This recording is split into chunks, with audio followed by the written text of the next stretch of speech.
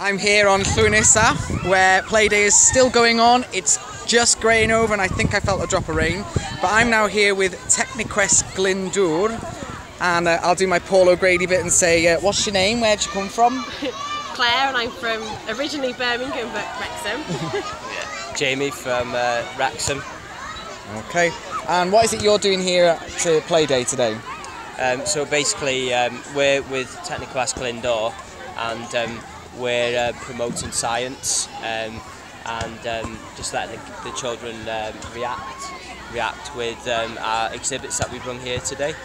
And ex- hopefully an explosive reaction. if we just yeah. show you what's been going on in the background there, as it rains, another chemical reaction going on.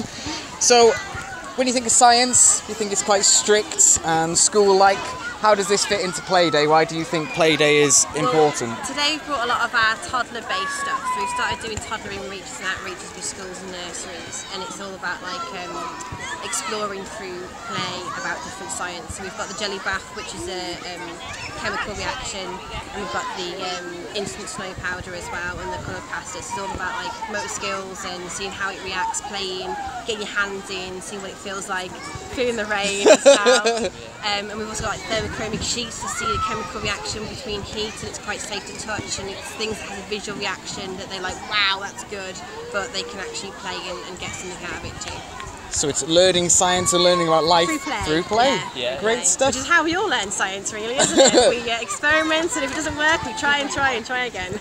Perfect. Well, I'll let you get back under your marquee. Yes, Enjoy the please. rest of play day. Thank you. you.